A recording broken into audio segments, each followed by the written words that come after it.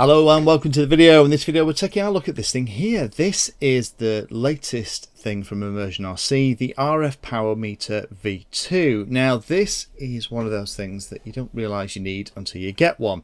And actually I had the original version of the RF Power Meter and I bought it a couple of years ago. Quite expensive, the best part about £100 but it has come in very handy those times when I've needed it. But this one had an external battery, it had an external attenuator, and there was a lot of feedback given about a couple of things in particular around the version 1 that's meant that the version 2 is out. So I'm very pleased to say I've got my hands on a version 2 and I just wanted to go through what it is, how it works and also what the advantages are over the version 1 and talk a little bit about how having one of these in your bag if you're flying is probably a good idea. Now this new version is a lot less expensive than the original one, which is good, and it also is pocket sized as well. It's kind of the size of a large pack of chewing gum, which does mean that you can keep it in your bag. I found with the older RF power meter, I was leaving it everywhere just because it's such a bulky piece of kit, and you also had to plug an external battery in as well. With this one, there is an internal battery. When you get it, you just pull the tab out of the bottom, that makes the battery connection, and then a brief press on the power button, and it'll burst into life. Brief press on the power button again and it'll turn it off. And that makes it an awful lot more portable, along with the fact that it now has an internal attenuator. So that thing on the version 1 that looked like something out the Jetsons or a 1950s sci-fi soap opera is actually the attenuator. And you use that when you were trying to uh, measure higher powers and that absorbed some of the energy and dissipated it as heat so all that energy didn't go into the device for measurement. But that's all internal as well but that's also given it a big advantage.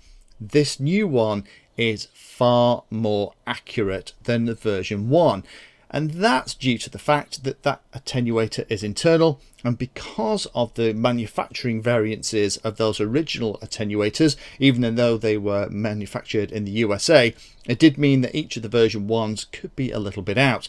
But the version 2s are calibrated in the factory against an NIST certified device uh, over 200 data points. So they're pretty spot on to about half a dBm.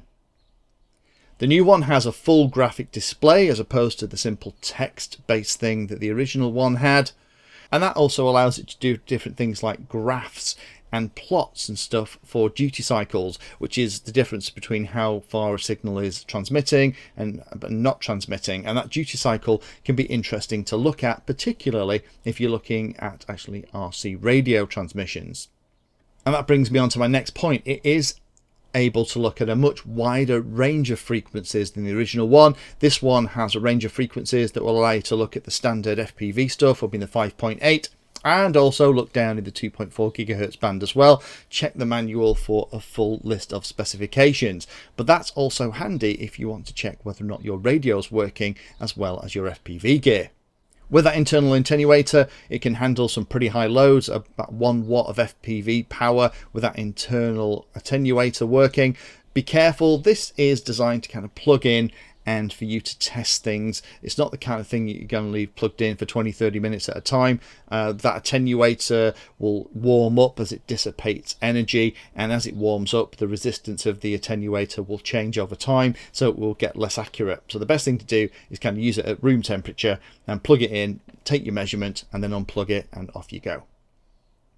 There are quite a few modes of operation. Let me talk about these on the next slide because it was only when I started using this and playing with it and actually reading the manual, yes, I do read manuals, that I figured some of this stuff out.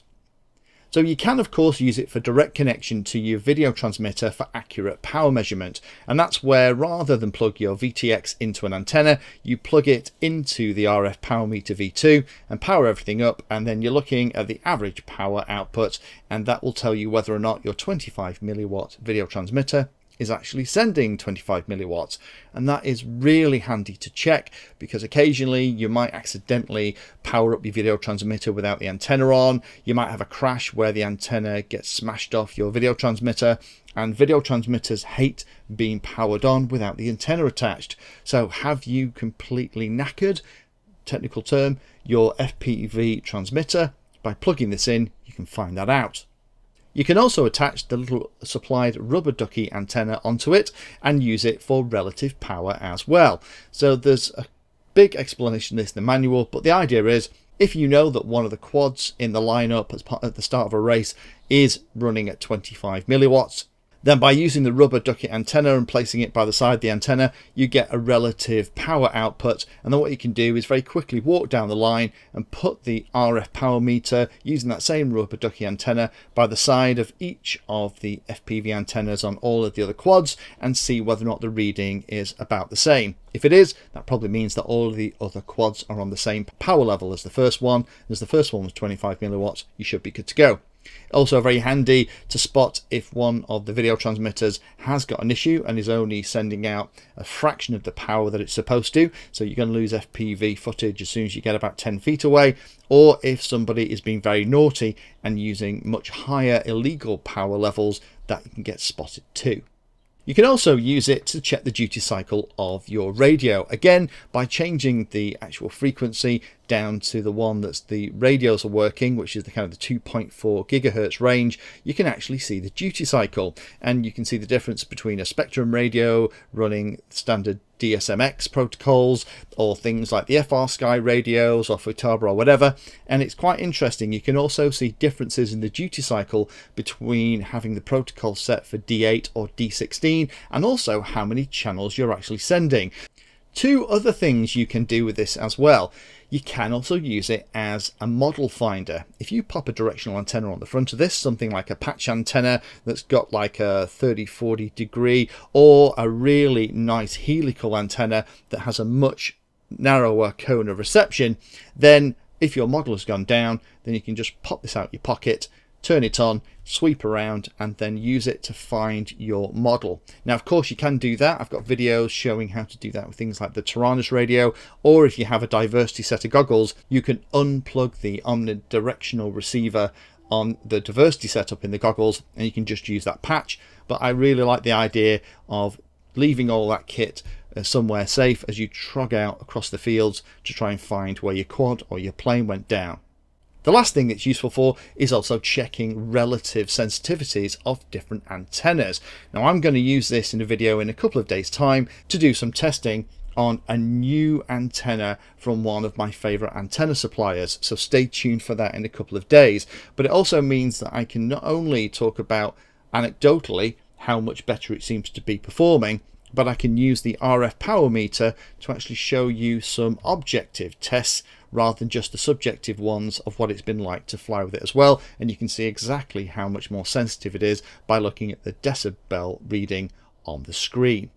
And by moving the RF meter around, an antenna. It'll also give you a good idea of what the dispersal patterns are and what the drop off is if you're using a directional antenna. So you have a very good idea of what the actual cone of reception looks like and what area you should be flying out in front of yourself with those kind of directional antennas. So hopefully that's useful for those of you that have been thinking about this. I found the original clunky version very, very handy, but this is something that's going to go in my case along with my Taranis and my FPV goggles and is going to go to the field with me all the time. It's one of those bits of equipment that you might not need it every time you go out, but when you do, it'll be worth its weight in gold.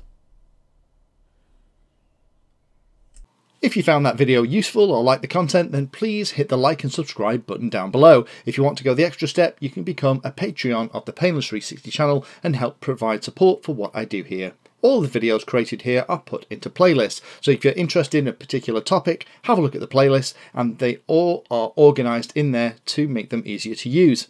If you're not sure if there's a video for your particular problem or topic you want to know more about, then add Painless 360 to the Google search term that you're interested in, and that should find the video, article, or content about the particular thing that you're interested in having a look at.